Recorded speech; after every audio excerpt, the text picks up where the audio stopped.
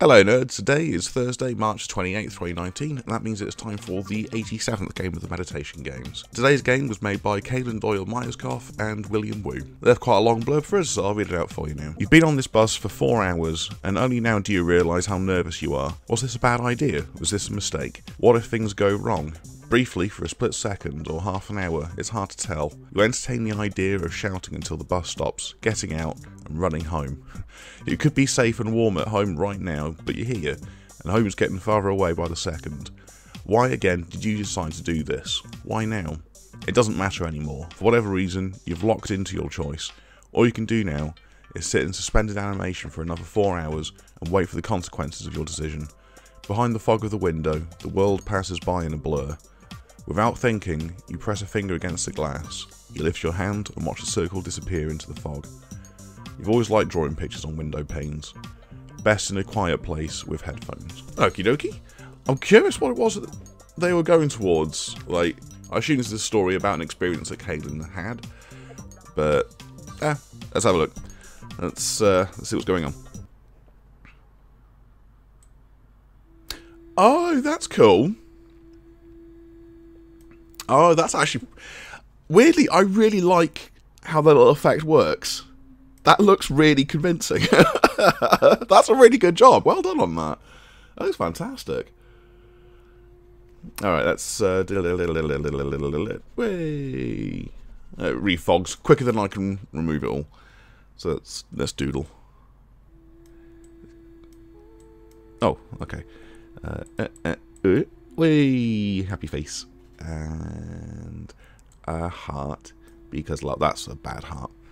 Heart. There we go. Because love. And um, I don't know. Uh, hi. so what's actually going on? Is this changing much? I haven't been paying attention to anything going on in the background.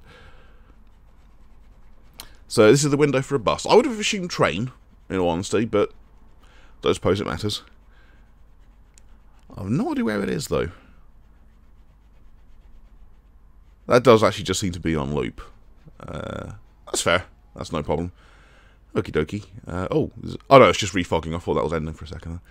Uh, uh,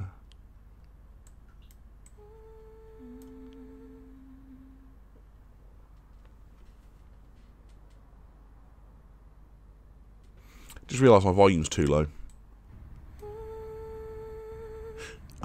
Oh,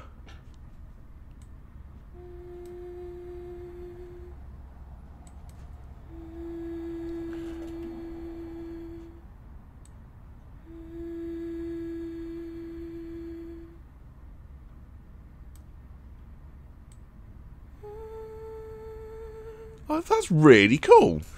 So she's humming as she's right on the window. That's really cool. I like that. Yeah, that would have been a lot better with headphones. Uh, never mind. so I wonder if this game actually ends. After having spent the last 10 minutes just doodling willies and stuff, I can safely conclude I don't think this game ends. so I shall end it. I do wish I actually played that with headphones. That was a really calm, very pretty experience. I really, really liked how the graphics looked. Like, I, I loved how outside looked. It was really simple but very characterful, very plain but very charming. It looked really good. But that sort of condensation effect on the on the window, the doodling on the fogged up mirror, that looked really good. That was actually very impressive. I don't know how easy that was, but I'm impressed. I thought it looked awesome. And it seems like a weird little touch, but that humming as you pressed on the window. That was really nice, actually. So that was all in all very that was a very chilling and nice experience actually, so thank you for that. So the creators of today's game both have some really cool stuff to their name. William Wu, I can't seem to interact with much of what he's done. It's basically just looking at all the cool shit he's made. And he's made a lot of very bizarre, very, well, I wouldn't say bizarre exactly, bizarre to me because I don't know anything about them, but like, he's made the physical MIDI controller, he's got uh, a poetry generator or something. Uh, he's got a lot of really interesting looking and very strange things that I'm completely alien to. However, Kaelan is a game maker, and I know game makings, So that I was much more at home with. but she's made what looks like a card game, and I can't quite tell if it's a pen and paper game or another card game. I, I haven't looked into it too much. But she's also done a couple of uh, sprite based video games, and her sprite work is absolutely fantastic, or her pixel art, or whatever you want to call it, looks amazing. Uh, really, really damn cool. I had a noodle around on Death and the Maiden. It's a really simple, straightforward game. Uh, you move Death's arms to block incoming nasties that try and kill the Maiden in the middle. Uh, I believe it's just a high score game. I didn't get far enough to see if the game ended, but I assume it's a high score.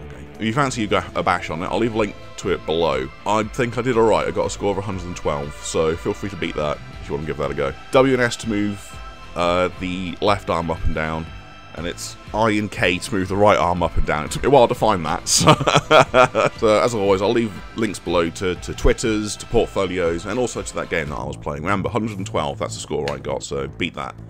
It's probably pretty easy to beat, but.